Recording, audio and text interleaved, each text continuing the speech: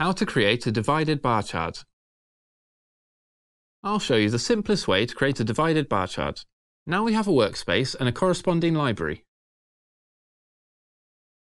Add objects to the drawing by dragging them from the Libraries panel to the document page. To make changes to your chart, use the Action button menu. To open the menu, select an object and click the Action button in the upper right corner of the object. You can add or remove segments.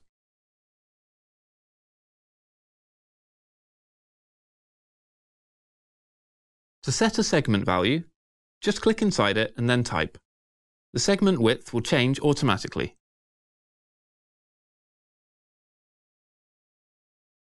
A legend helps you describe the categories. You can hide or show the legend. It contains categories that correspond to each segment.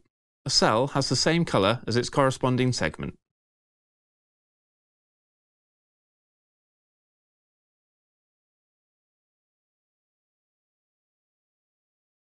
You can change the segment's color using the Fill tool.